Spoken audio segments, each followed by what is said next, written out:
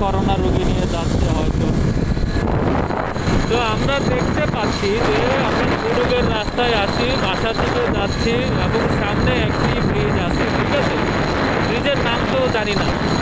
তবে ওই ব্রিজের উপর থেকে নদীটা সুন্দরভাবে দেখা যাচ্ছে।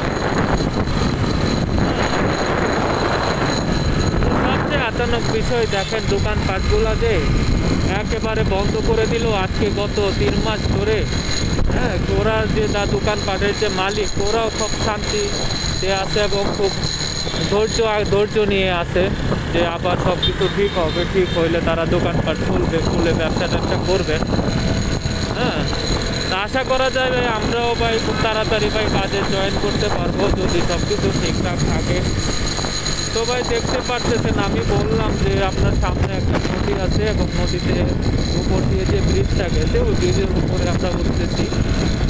হ্যাঁ, আর সবচেয়ে মজার বিষয় এখানে সুন্দর একটা পার্ক আছে নদীর পার্ক দিয়ে।